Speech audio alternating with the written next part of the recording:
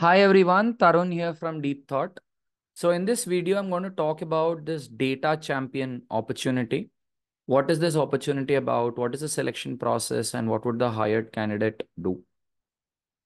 But before that, a very quick roundup of Deep Thought.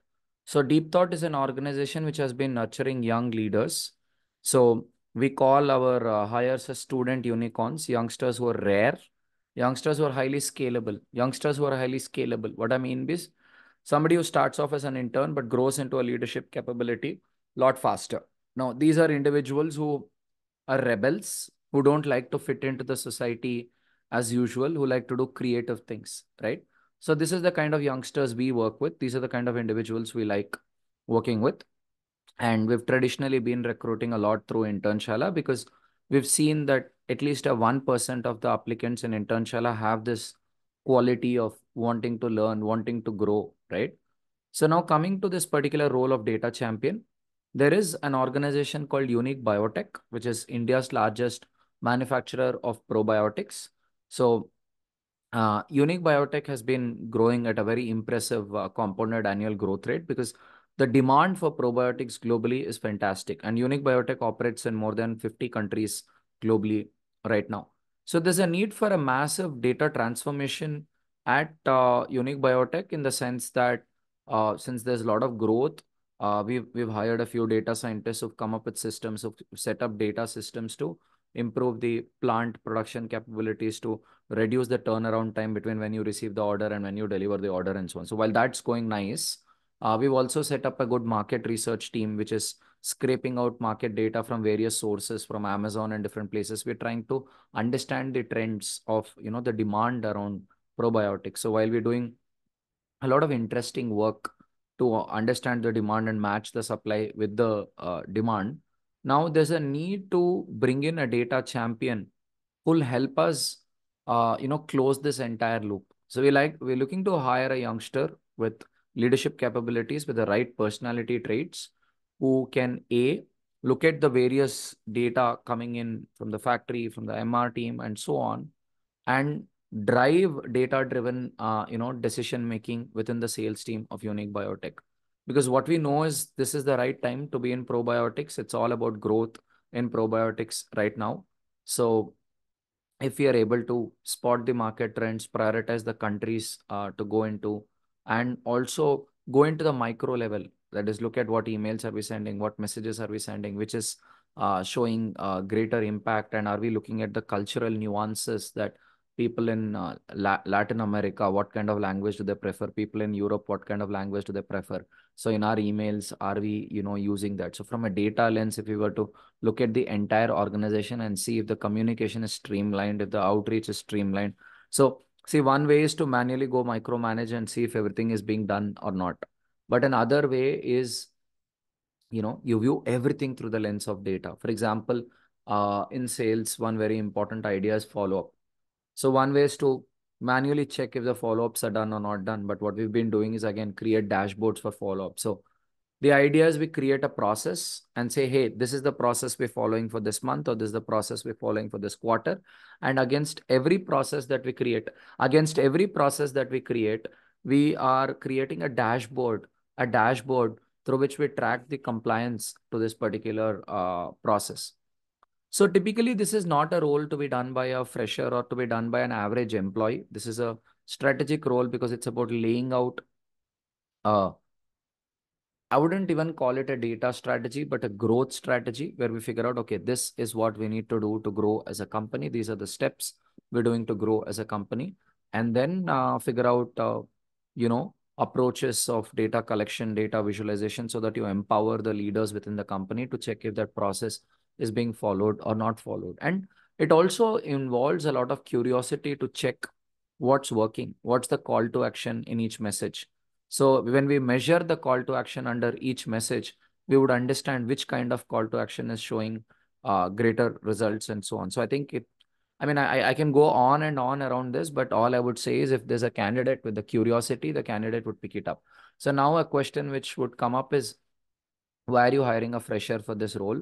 The answer is straightforward. We want to hire somebody who's young, who comes with a clean slate, who does not come with the societal conditioning, someone who doesn't come with the societal conditioning, someone who's an absolute sponge who can pick up things and learn, and who's ambitious, who's got a vision. I mean, when I talk to candidates, many of them tell me my job goal in life is I want to be a business analyst, I want to be settled down, and so on. So those kind of individuals, of course, don't uh, fit into this kind of a role. But somebody who's ambitious, somebody who wants to contribute, who wants to do bigger things, and who's got a learning drive. The vision we have for this candidate is, you know, maybe in the initial three months, the person is more of getting inputs, getting feedback from me, the growth advisor, and the chief marketing officer of the company, and starts, you know, following the instructions or maybe starts implementing through feedback.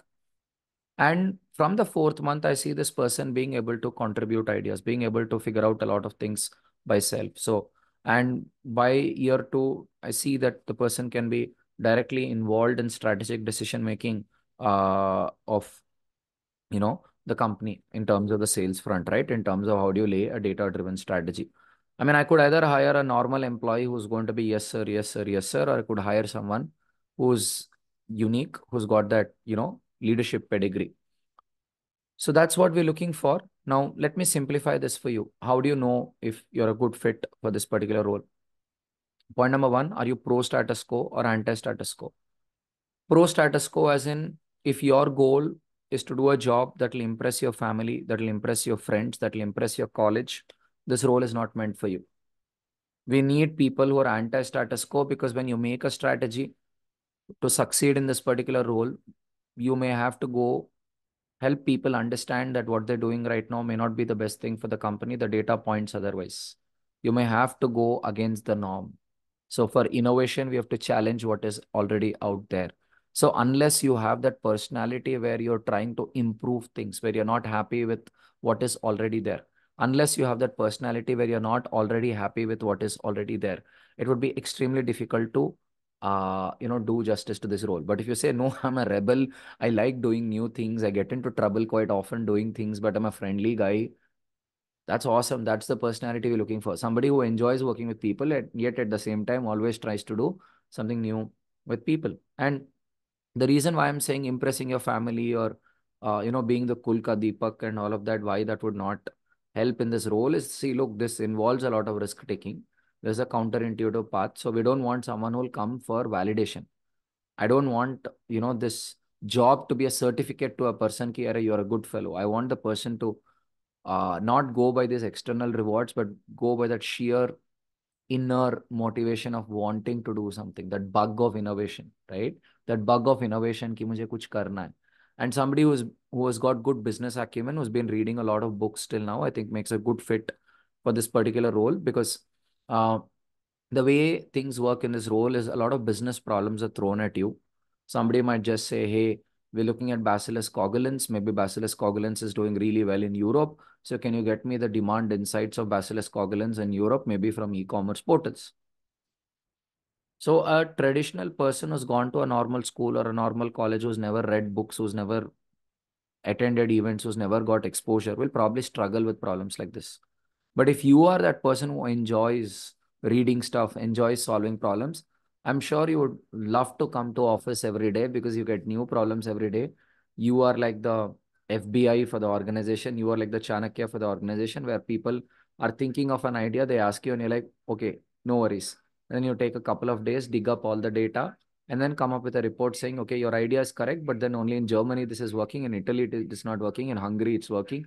And so on. You'll have data driven insights to uh, share with the team in terms of what's working, what's not working. But for that, comprehension is very important. Comprehension means the ability to understand what is being explained. Now, in the selection process, I, I think a very critical part of the selection process is the TOEFL style comprehension test that we've come up with. We call it TOEFL style. It's kind of like uh, that, right? The intent is similar. So we're giving you a couple of videos. Both the videos are hour long. So I've seen that a few people uh, cheat. They're not honest. They don't go through the entire video. So they get rejected, of course. Uh, but we're looking at people who can, I mean, who develop interest in listening to those videos, not those who listen to the video because we are asking you to listen, not those who are listening because we are asking you to listen, but those who find those videos fun, who like, wow, this video is introducing me to a lot of concepts. This video is introducing me to a lot of concepts which are crucial to my life. Okay, my belief system, the way I look at life, my belief system itself has fundamentally changed because of this video. So if you are one of those individuals who feels like my life is transformed with the videos, I think it's a strong sign that we're looking for you. And uh, there are questions based on the video. And again, I probe a lot of questions. Some people will be like, why is this fellow asking me this question? This fellow must be stupid to ask me these questions. Again, if you don't see how these questions are relevant to this role of data champion, I would say this role may not be meant for you. You may want to look out for other interesting opportunities on Internshala. But if you're enjoying this and you're able to see that, look, this role is all about three things. This role is all about three things. One is how well do you comprehend business problems? How well do you comprehend business problems? What do I mean by it? So as I said, that bacillus coagulans thing, right? Or if, if somebody says that, hey, this company is into a lot of probiotics, from which country is this guy importing it? From whom is this guy importing it? Somehow you have to find the answer. There are ways to find that answer. So then you ask, okay, what, what's the supplier good at? So if we have to go and pitch our services to them, what do we pitch? Because the person is already buying from someone else. So this is a question. Now, the ability to comprehend this question, understand this question is very important because only when you understand the real world problem, then you'll know how to go make the decision. Then you might ask, why is that in the other job roles, this is not stressed? Because in the other job roles, there is some strategy level person, some senior person who makes that strategy. Then there is some manager who's told this is the strategy, do it. Then the fresher is told by the manager, go do this.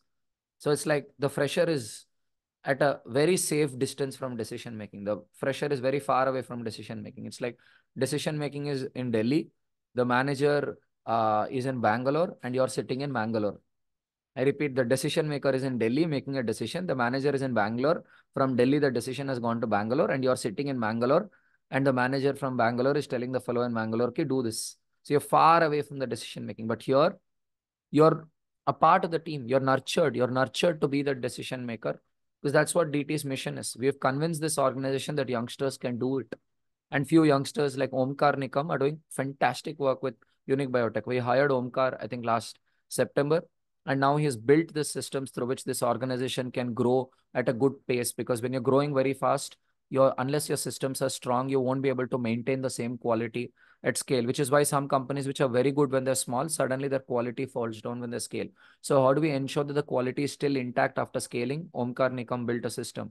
Now, is this what you expect out of a fresher? Maybe not. Or the two students who still in second year of BTech, they are the ones who've done the complete market research and have got the data of around 50 countries to see what are the probiotic trends in 50 countries. Two students in BTech second year are doing that in the market research team. So this is what DT is about. We like working with those youngsters who are the 1%. So I think on Internshala, we've sent that 10 traits of what kind of uh, qualities we look for. Uh, if you're somebody who likes to spend a lot of money on cosmetics or lavish goods and all of that, probably there'll be a lot of friction between your value system and our value system. But if you're a simple person, not without many materialistic needs. You're somebody who's driven by problem solving. You want to help people. It's not about you, but it's about people. You have that excitement towards helping people. I think your personality trait will work. Now, again, going back, what are the three things I said? One is comprehension. And, uh, you know, being able to understand the business problems is the second one. First one. Second one is uh, having the programming abilities where you're able to write scrapers, get the data. This is not that important. It's okay if you don't know. We can teach you that. We can teach you that because I feel it's hardly take going to take one to two months to teach somebody, you know, Python scraping, a bit of Selenium, and so on. And uh, HubSpot CRM, how does it work? Hardly takes like two or three days uh, to learn. So the second part is, but what we can't teach is, I think, the logical thinking and the ability to analyze problems through data, right? So on Google Sheets, you probably have to write custom functions and run those custom functions for analyzing data. So the way you analyze data, I think, is the second thing which is very important. The first one is how you understand real world problems, the comprehension. And uh, the third part is how you influence people because you've made a strategy, all right. But people will have their own concerns because people have been using something and that something has been working for them over a period of time. So you know, all of us have some challenges in uh, adopting a new idea. So uh, that's where you need a data champion who can work with people, who can passionately sit with people, answer out all their questions, slowly nudge them, not force them, not do it in an authoritative way, but in a friendly and collaborative way, have a constructive dialogue to influence people. So that is where, again, that helping nature and all of these things are important because we anyway train the candidate on interpersonal skills. We train you on soft skills in terms of how do you, uh, you know, somehow persist, how do you influence people, how do you get your job done. So I'm sure for freshers, this can be very tricky in a work environment. How do you go about all of this? But this will be taught. But there are certain things which can't be taught. Those certain things which can't be taught are the skills which were required in 18th century, are the skills which are required in 21st century, are the skills which will be required in 30th century also. These are skills of early man, the tribal man, how to deal with people, how to communicate, how to handle your emotions, how to face pressure, right? How to enjoy your work, seeing a purpose in work. These are Adimanav skills. So we're looking for people with those Adimanav skills because that's something which is very difficult to train because at birth you have them, but the societal conditioning sort of takes it away. So to cut the long story short, two points is what I would want to say. Point number one, if you're a creative rebel, you like coming up with a lot of ideas and you want to have that freedom to do something of your own. You do you want to be unique. You don't want to do what every Tom, Dick, and Harry does. That is when this role is for you. And the second point I would like to say is this comprehension uh, assessment is going to be very important. We're going to see how well you're able to understand various messages, various videos, and resources we're throwing at you. Because we want to see if you're a sponge. Because if you're a sponge, I am very confident of my mentoring capabilities because we've mentored a lot of youngsters till now. All we want to be confident is about your sponginess.